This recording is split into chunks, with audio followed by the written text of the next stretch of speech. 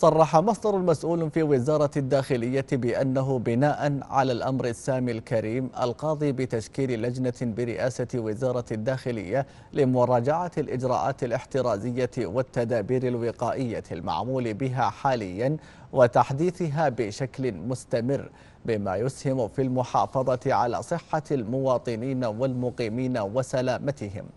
فقد صدرت موافقة صاحب السمو الملكي وزير الداخلية باعتماد الإجراءات الاحترازية والتدابير الوقائية الخاصة بقطاعات تجارة الجملة والتجزئة والمقاولات والصناعات التي أعدتها اللجنة المشكلة بعضوية كل من وزارة الطاقة ووزارة الصحة ووزارة المالية ووزارة الموارد البشرية والتنمية الاجتماعية ووزارة الصناعة والثروة المعدنية.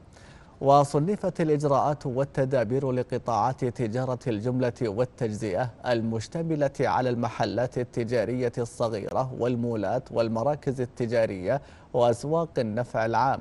في ستة فصول تتضمن العميل والموظف والجهات الخارجية والمواد والمتجر والمستودع وكذلك التتبع والإبلاغ والتوعية وتنفيذ الأنظمة.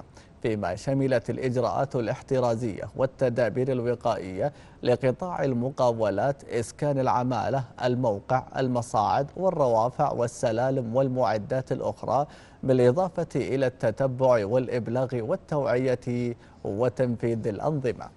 ووزعت الإجراءات والتدابير المتخذة في قطاع الصناعة التي تستهدف الجهات والمنشآت الصناعية والتعدينية المرخص لها من قبل وزارة الصناعة والثروة المعدنية وتلك الإجراءات والتدابير تشمل صاحب الترخيص الصناعي أو ترخيص الاستثمار التعديني في خمسة فصول هي الوقاية في المنشأة والوقاية في المستودعات والخدمات اللوجستية والوقاية في إقامة الأعمال إضافة إلى التتبع والإبلاغ والتوعية وتنفيذ الأنظمة.